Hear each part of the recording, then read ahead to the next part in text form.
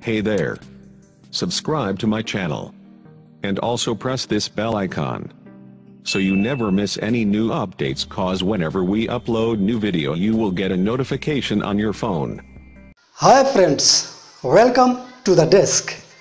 Friends, nowadays I am teaching you about the condition and suppositions. उसके मैंने already दो video बना दिए हैं ये तीसरा वीडियो है तो फ्रेंड्स कंडीशन एंड सपोजिशन का मतलब तो आप समझ चुके होंगे। शर्त, संकेत या कल्पना। ठीक है? तो today I will teach you about the use of whether and suppose in the condition and supposition so let's start the class of the day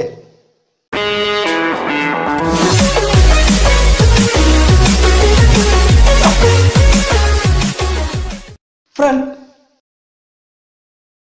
whether और suppose what is the suppose suppose बोलते ना suppose कि वो पेड़ cut जाए suppose कि ऐसा हो जाए सपोज़ कि वैसा हो जाए मीन सपोज़ तो सपोजिशन वाले या सपोज़ वाले हम सेंटेंस आज सीखेंगे और यूज़ ऑफ़ वेदर तो क्लास शुरू करने से पहले हम देखते हैं वो English video Hey Surika, what are you doing in this weekend? I don't have any big plans. Saturday is Atul's birthday and we are planning for a surprise birthday party for him. That sounds like fun. Where will it be?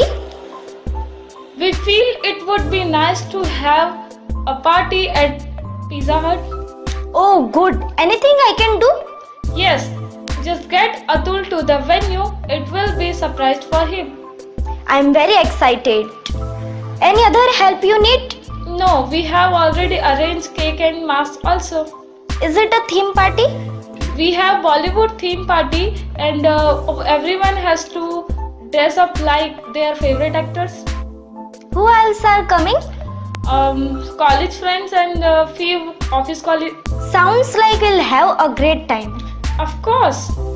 So, see you on Saturday at uh, 7 pm. And you don't forget to bring Atul uh, along with you. Sure, I'll get Atul with me. Don't worry about him. Okay. Okay friends come whether हम सबसे पहले सीखेंगे कि weather का इस्तेमाल हम कहाँ कहाँ करते हैं। एक बार मैंने आपको नरेशन पढ़ाया था तो नरेशन में भी बताया था वेदर का इस्तेमाल। उसमें इंटरोगेटिव सेंटेंस में वेदर का इस्तेमाल हम करते हैं। एक सेंटेंस में बना के दिखा देता हूँ शायद आपको याद आ जाएगा। फिर उसके बाद वेदर का इस्तेमाल कंडीशन एंड सपोजिशन वाले सेंटेंस में कैसे करते हैं उसमें हम बताएँगे। ठीक है फ्रेंड्स तो उसने मुझसे कहा, क्या तुम बीमार हो? तो he asked me whether I was ill. ठीक है friends he asked me whether I was ill ये हम डायरेक्ट मैंने इसको इनडायरेक्ट स्पीच में बनाया है।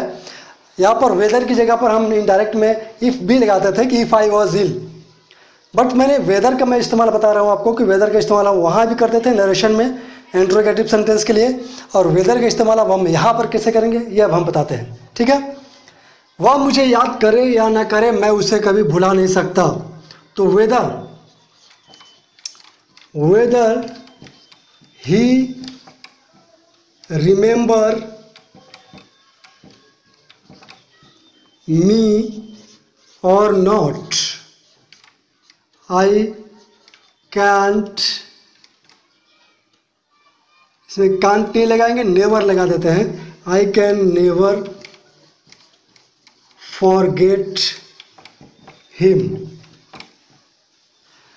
whether he remember remembers यहाँ पे ऐसे लगेगा मी और not I can never forget him सिर्फ़ यहाँ पर आपको वेदर फ़र्स्ट में लगा देना है, जैसे वह मुझे याद करे या ना करे, या हम इसको ऐसे भी बोल सकते हैं कि चाहे वो मुझे याद करे या ना करे, मैं उसे नहीं बुला सकता हूँ।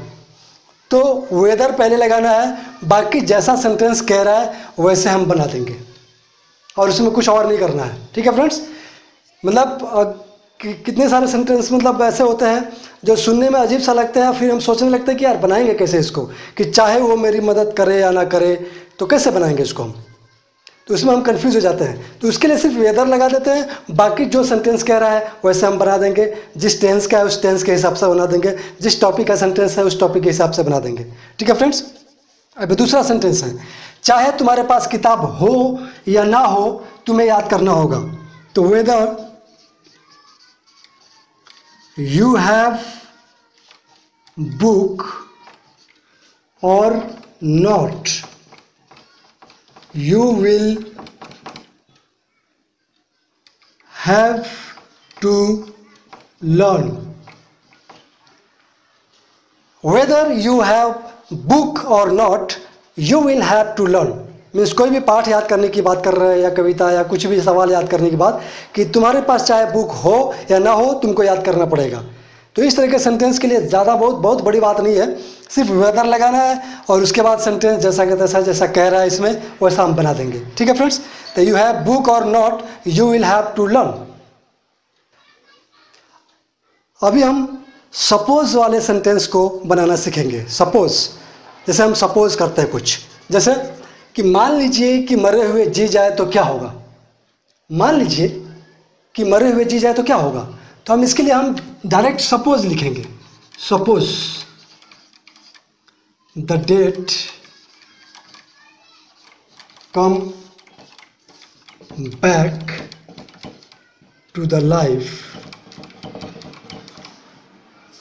what would happen suppose the dead come back to the life what would happen इसमें मान लीजिए के लिए हम सपोज़ लिखते हैं सपोज़ हम, बोलचाल के दरमियान भी हम इस्तेमाल करते हैं कि मान लीजिए या सपोज़ भी हम बोलते हैं ज़्यादातर कि सपोज़ वो नहीं आया तो क्या होगा? ठीक है ना? मान लो कि आज रात वर्षा हो जाए तो क्या करोगे? तो suppose it tonight what will you do? Suppose it rains tonight, what will you do? यहाँ पर हम सपोज़ की जगह पर सपोजिंग भी लिख सकते हैं सपोजिंग भी बोल सकते हैं। ठीक है फ्रेंड्स जैसे supposing it rains tonight what will you do okay friends ये सपोज़ वाले सेंटेंस है। अब मान लो कि यह एक ब्रीथ है। अब इस सेंटेंस को आप देखो। मान लो कि यह एक ब्रीथ है। तो वृत्त इसमें भी मान लो है, इसमें भी मान लो है, लेकिन इसमें सपोज़ नहीं लिखेंगे, क्योंकि इसमें कोई वर्ब नहीं है। इसमें सिर्फ़ मान लो कि यह एक वृत्त है, किसी भी ऑब्जेक्ट की बात की जा रही है, इसमें कोई वर्ब नहीं है, कुछ क्रिया नहीं है, कुछ करने वाला नहीं है, करता धरता कुछ नहीं है। मान लीजिए कि यह एक वृत्त है तो सिर्फ़ मानना है, कुछ क्रिया नहीं है इसमें।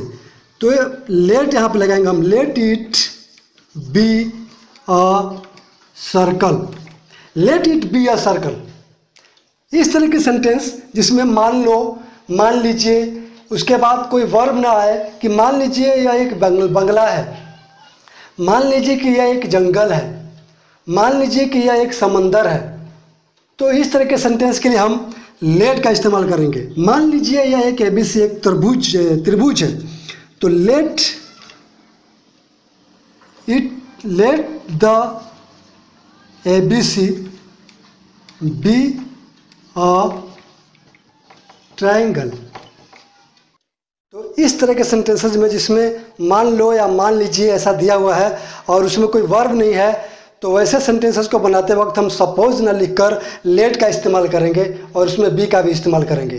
ठीक है फ्रेंड्स जब मान लीजिए या मान लो हो सेंटेंस में और उसमें वर्ब दिया हो इस तरह से कुछ करने की बात हो तो उसमें हम सपोज़ लिखेंगे बट उसमें कुछ करने की बात ना हो, कोई भी वर्ब ना हो तो उसमें हम सिर्फ़ लेट लगाएँगे और ऑब्जेक्ट के बाद बी लगाएँगे, फिर अदर्स लिख देंगे। ठीक है फ्रेंड्स तो ये था ये था हमारा आज का टॉपिक उम्मीद करता हूँ कि आपको अच्छी तरह से समझ में आ गया होगा कि वेदर और सपोज़ का इस्तेमाल हम किस तरह के सेंटेंसेज में और कैसे करते हैं। फ्रेंड्स अगर आप हमारे चैनल पर नए हो तो सब्सक्राइब बटन को दबाकर हमारे चैनल को सब्सक्राइब कर लीजिए और बेल आइकन को भी क्लिक कर दीजिए ताकि हमारे हर वीडियो का नोटिफिकेशन आपको मिलता रहे। फ्रेंड्स, प्लीज़ लाइक भी ज़रूर कर देना अगर आप देखते हो हमारा वीडियो तो। अगर नहीं पसंद आता है तो कमेंट ज़रूर कीजिए कि क्या पसंद नहीं आ रहा है। अगर थोड़ा भी पसंद आ रहा हो तो लाइक ज़रूर दबा देना ताकि हमारा हौसला बढ़ा रहे और मैं इसी तरह का वीडियो बनाकर आपके समक्ष पेश करता रहूँ। ठीक है फ्रेंड्स तो अब तक हमारा वीडियो देखने के लिए thanks thanks a lot and धन्यवाद।